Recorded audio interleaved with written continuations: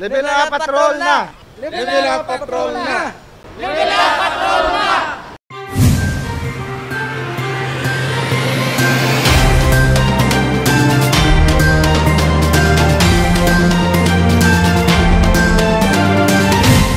Pre-registration para sa vaccination program sang syudad ang nagapadayon. Nagasugod na ang vaccine rollout sa mga COVID referral hospital sa syudad sang Iloilo. Sa bahin sang Iloilo City Government, makaduwa ka beses na nga nagpatigayon sang simulation exercise bilang pagpanghanda sa vaccination program. Kaina sang aga, nagparehistro si Mayor Jerry Treñas para sa pre-registration sang vaccination program. Pinaagi sa pre-registration, mas mapadasig ang proseso sa adlaw mismo sang pagbakuna.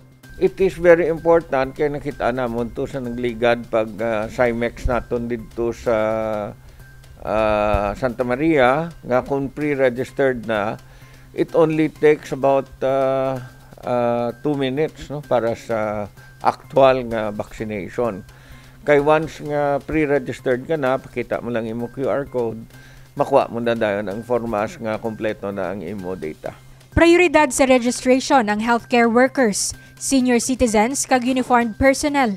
Para sa mga nagatrabaho sa mga healthcare facility kasubong sang ospital, may form nga igahatag ang syudad kag tingob ang pagparehistro. Amo man sini ang registration sa uniformed personnel. Ang senior citizens naman, CSWDO ang magabulig para sa ila registration. Hindi siya subong ara- available na sa atong mga barangays. Pero ang aton CSWDO nagabulig sa aton kagang aton SK, ang SK ang naga naga-upload or naga naga-encode together with the barangay secretary. Ang aton CSWDO sila na nagadala kag naga-guide sa aton na mga pumuluyo nga magrehistro. Ang registration ang makabulig man sa contact tracing ilabi na subong nga nagasaka naman ang COVID-19 cases sa syudad. Base sa kahapon nga data sang Iloilo City COVID-19 Emergency Operations Center, may 16 ka new COVID-19 cases sa Iloilo City. Pinakabata nga nagpositibo sa virus subong, pito ka tuig ang edad. Ang ini nga pre-registration ginausar ta para sa actual vaccination but actually kinahanglan ta ni para sa aton QR code. And uh, balaan naton sige pasaka sang cases subong sang sang COVID-19 diri sa aton sa syudad no? Uh, several several days tag uh, anom tag walo lang ang aton subong adlaw. Ang report sang kagapon nga 16 gid ang nag-positive. Gabantay na kita subong and we are uh, making the uh, uh, protocols even stricter. No? Nagpahanumdo mga alkalde nga 15 anyos lang pasaka ang sarang makagwa sa ila panimalay. Malapit sa infection sa virus ang kabataan, gani dapat proteheran man ang mga ini. Divine Singh para sa Level Up Patrol. Bago nga travel protocol para sa mga nagapadulong sa Iloilo City ang epektibo na. Sumugod kahapon Marso 8 may bago na nga pagsulundan para sa mga magapadulong sa syudad sang Iloilo. Gindula ng mga requirement pareho sang barangay certificate, medical certificate kag travel authority. Naga-apply ini sa locally stranded individuals, returning OFWs kag authorized persons outside residence. Apang antes ang biyahe padulong sa Iloilo, kinahanglan gihapon magkuha sang notice of coordination kag acceptance pinaagi sa Iloilo City Emergency Operations Center. Kinahanglan man ang negative RT-PCR test result nga gin-issue 72 hours antes ang date sang pagpadulong sa syudad. May changes na kita for Iloilo City. Kaya na, kaya gaambal ang aton COVID team. Subong ang tanan, kinanlan gid makakuha sang negative RT-PCR test. Paghalin gid nila sa place nga ginalinan nila pakadto diri sa aton. So kung ara ka sa Manila, ara ka sa Cebu, ara ka sa Davao, before you take the flight, you must have a negative RT-PCR test 72 hours prior to the flight. Hindi na kinahanglan pang swab test pag-abot sa Iloilo City kung may ipakita ini nga negative PCR test result antes ang arrival date. Hindi sakop sini nga protocol ang mga biyahero halin sa iban nga probinsya sa Western Visayas.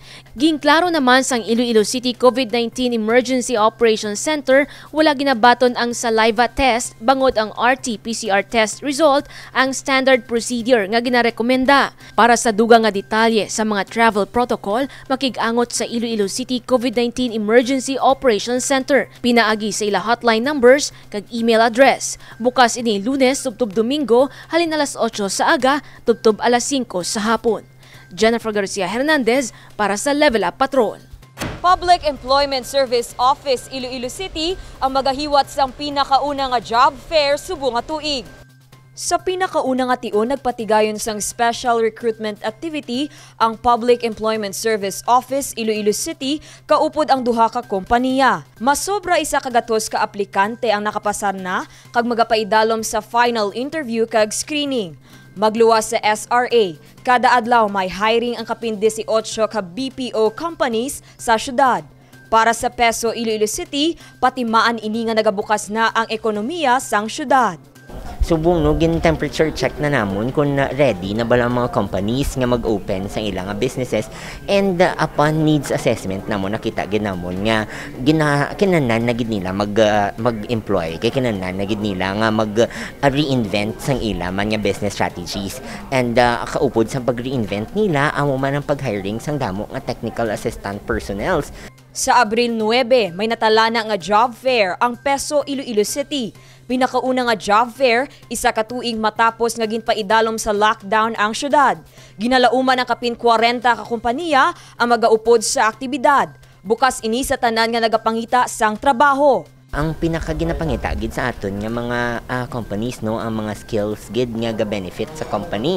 So like for example kung may prior training sila sa ah, specific field of ah, ano for field of work ah, mas mas makatag sila advantage. Ah, for example for BPOs no? Kung may ara sila prior training for BPOs makahat ma, mas mas mas mahapo sila tanggapon sa obra or ang may mga work experience. Pero not not to worry no? Not to discriminate naman for those nga ah, mga displaced nga mga workers naton min ara gid mga company as long as may character nga willing to learn especially kung mapakita mo gid ang sincerity during interviews bala ang mga aton nga mga empl- employers willing gid iya mag-hire sa mga musina Madamo sa mga trabaho ang makit-an na sa Facebook page sang Peso Iloilo City. May local kag overseas. May mga hiring man kasubong sang nurse kag mga empleyado para sa industrial sector. Dane Raffles para sa Level Up Patrol.